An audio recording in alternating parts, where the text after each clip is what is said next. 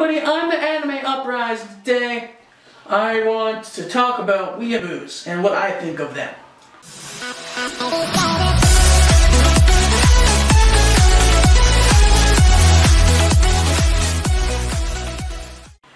I'm gonna give you a brief, a very brief description of weeaboos. Weeaboos are people who take things way too far. They're otakus that take things to like get out of the top level, like it's just like they try to use Japanese words they don't even know. and they think anime is the only thing out there. And I'm gonna admit it, I was weeaboo in the past. I, am going to admit that. I'm openly I was weeaboo. That is true. Yes, that is openly true.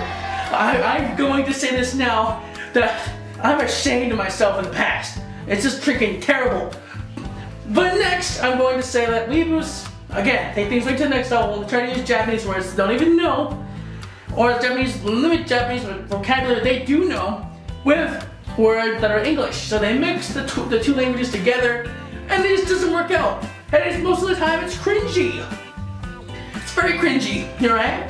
So you don't want that. You don't want to be a weeaboo. Then like after that, they think anime is everything. They, they always freaking, they act like anime is everything. They like do the Naruto ones. Like,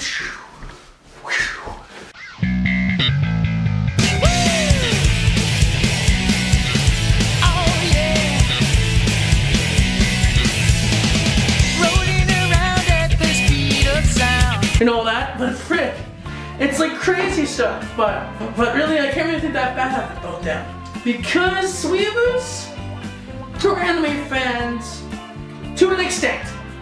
This is a two-part series. I'm gonna talk the anime fans, like the weeaboos, three part, three part, three part. So the weeaboos first, the elitists, then the otakus.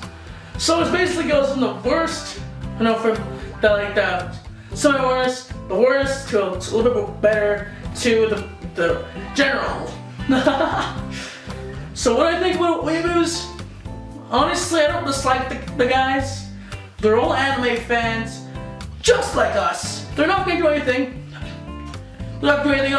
I like weeaboos as long as they stay with me. I'm not gonna be, friend a weeaboo that's really crazy and all that stuff. I'm not going friend them like that. No way. No. But I don't hate them just for being them. They can be themselves somewhere else though, like not around me. I don't want to be seen with them. But if I see them around just doing their thing, it doesn't bother me. I don't hate them. But they can be a little annoying, but honestly, I don't hate the guys. So they're, they're okay. This is an anime discussion I wanted to bring up because I thought weeaboos and usually an anime channel has something weeaboo related in their content. And I haven't made a video regarding weeaboos just yet. So I decided to make a three-part series about weeaboos, otakus, and anime elitists. Yeah, I'll edit that out. But anyways guys, this is like a short video because I have a video, a review, maybe tomorrow. Like this is gonna go out today for you guys watching this, but tomorrow for me. I might have the reviews of tomorrow or the next day. Because it depends. I'm gonna work out tomorrow and I'm saying no, I should be able to get it out. Yeah, yeah, it should be out tomorrow. Depends. But with that said, guys, please leave a like and subscribe for more content from this guy right here. And I'll see you all in the next video. Gentlemen.